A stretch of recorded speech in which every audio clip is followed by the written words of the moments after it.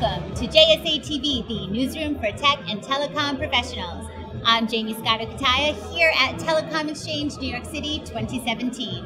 Joining me by my good friend Benjamin Von Seeger, who is now with Cyxtera Technologies. Ben, welcome to JSA TV. Thank you so much, Jaymie, for having us. Uh, we really appreciated the event and we really appreciate the support and also the chance to be a sponsor to your event as well.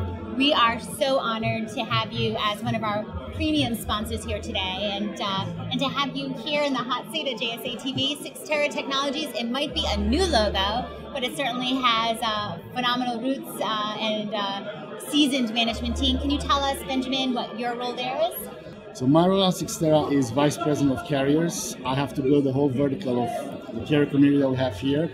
We are a $3 billion startup. We have over 57 data centers, but we do have a lot of cybersecurity services there to the attention of the carriers for their own use and for their small and medium-sized businesses.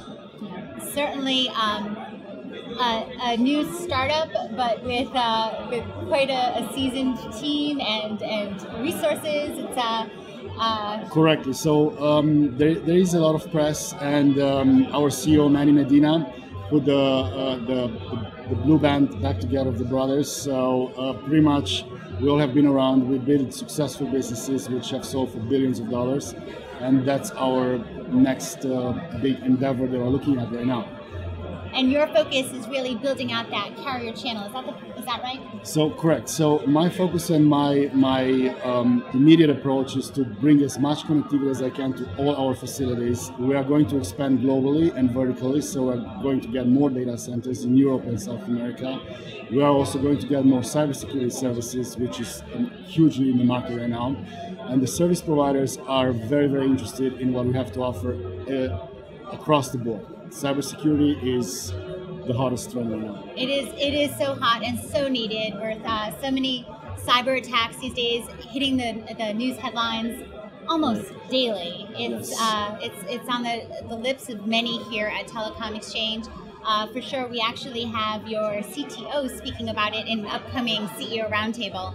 That topic is so hot, and you guys are, are truly um, hitting the ground as the thought leaders uh, in this space. So we're anxious to hear what your CTO, who's I don't know, can I say an ex FBI yes. member?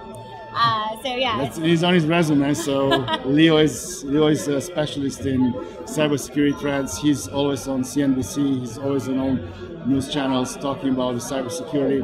Uh, we all envision um, the threats as someone carrying a weapon, but now we have to envision the threats as someone hacking into your system. So this is where we come in. This is where we have to start protecting enterprise customers, which we have over 3,600 of them, but also the carriers, their networks, and their customers' networks as well.